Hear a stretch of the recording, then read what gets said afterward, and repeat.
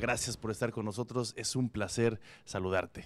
Muchísimas gracias, es un placer estar de nuevo en el programa de Iberoamérica al Día. Han hecho ustedes una labor fantástica, estamos muy orgullosos de todo lo que se ha logrado en este campo. Cuéntanos, ¿cuáles son los objetivos, el enfoque, los alcances de, de estas conferencias? Bueno, especialmente la, reunión de los ministros de cultura es muy importante para nosotros, porque nosotros hemos dicho que la cultura es la columna vertebral de lo iberoamericano.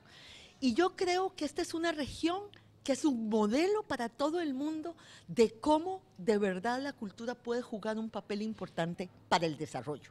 Y especialmente estando aquí en Colombia, donde estamos hablando de un proceso de paz que nos convertiría en la única macroregión del mundo que vive en paz en este globo terráqueo que tiene tantos problemas y tantos conflictos. Y sin duda la, cultura eh, juega un papel fundamental. La cultura por la paz y en paz es uno de los temas principales que vamos a tratar en esta reunión. Sin duda alguna, un esfuerzo, eh, por supuesto, del gobierno de Colombia, pero también de todos eh, los países que conforman Iberoamericano con su apoyo. También hay un tema que justamente eh, pues corona la temática que son los jóvenes, el, el, emprendurismo y la educación. En ese sentido, ¿cuál es el contexto que se busca que los jóvenes se integren, sean más dinámicos en la parte iberoamericana?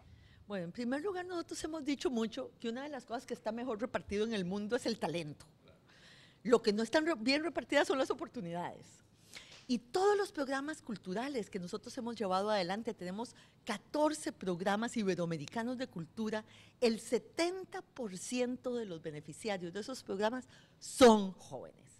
O sea, que esa integración, esa capacidad para abrir espacios para el talento, para la creatividad, para la participación de nuestros jóvenes, no esperando a que sean agentes de cambio mañana, sino que realmente sean agentes de cambio de las sociedades hoy.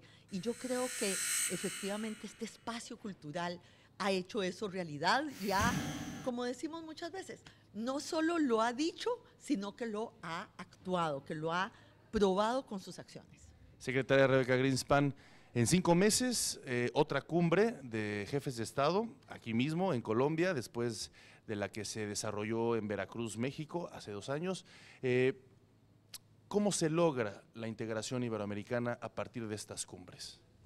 Bueno, le puedo dar un ejemplo, porque me parece que los ejemplos es lo que mejor eh, nos ayuda a, a explicarle al público.